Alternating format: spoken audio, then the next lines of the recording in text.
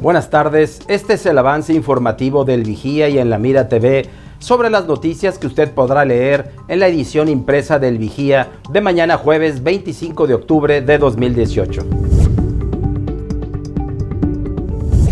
La Dirección de Seguridad Pública Municipal desarrollará operativos especiales con motivo de la celebración de Halloween y la conmemoración del Día de Muertos. El miércoles 31 de octubre se desarrollará el operativo Halloween en el que participarán 30 carros radio patrulla. Se multará a quien conduzca enmascarado.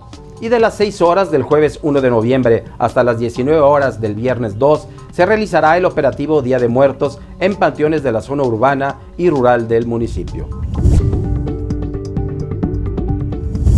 Durante el sexenio que está por terminar, construir en Baja California resulta 47.7% más caro, cifra mayor al 39.7% que se registró en promedio a nivel nacional, según datos del Instituto Nacional de Estadística y Geografía. César Ramos García, presidente de la Cámara Mexicana de la Industria de la Construcción, precisó que los insumos de los constructores se encarecieron durante 2018 en un 13.48% en esta frontera.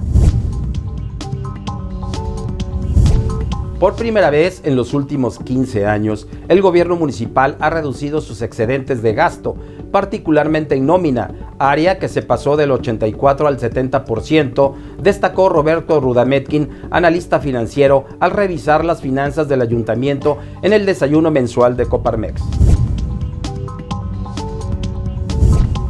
La postura de la célula 686 en contra de la Coparmex en torno a los nombramientos en el sistema estatal anticorrupción obedece a que el organismo empresarial no acepta que se designe a quien no cumple con los requisitos, afirmó Armando León Petanic, presidente de la Federación Coparmex en Baja California.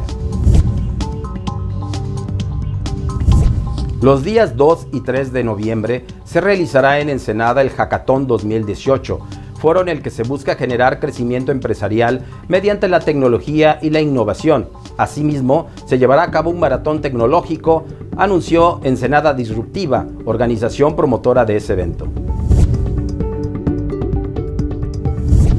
Una mujer, quien todavía no ha sido identificada, fue asesinada con disparos de arma de fuego en las primeras horas de este día en el ejido Francisco Villa del Valle de San Quintín.